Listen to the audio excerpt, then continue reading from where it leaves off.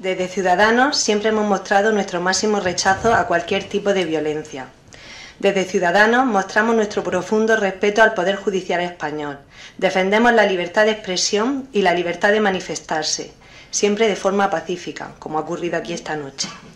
Mostramos todo nuestro apoyo a los cuerpos de seguridad del Estado que están sufriendo graves agresiones por parte de estos grupos violentos en favor de la independencia de Cataluña ante la pasividad del Gobierno central. Queremos aprovechar la ocasión para instar al ayuntamiento, tan aficionado a escribir cartas, a que escriba al presidente en funciones de gobierno y le pidan que actúe. Llevamos dos semanas de graves disturbios. Creemos que es una situación insostenible, una vergüenza que un país democrático como España tenga que aguantar esto. Es obligación del presidente actuar, defender la Constitución y a todos los españoles no independentistas que hay en Cataluña que se sienten indefensos.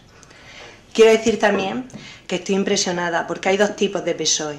El PSOE de Marlasca, que dice que en Cataluña no hay violencia, y el PSOE de esta noche, que se ha visto asustado por un grupo de vecinos con cacerolas y que ha pedido respeto. Y le ha parecido irrespetuosa la manifestación. Gracias. Vamos a respetar los tiempos y vamos a respetar a este pleno.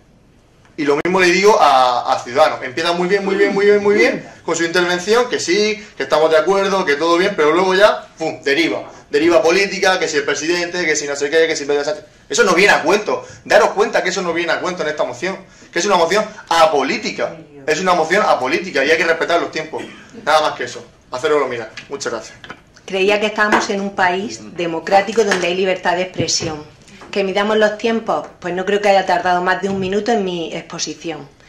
Creo que puedo decir lo que quiera, porque yo creo que puedo hablar libremente. Creo que vivimos en un país libre.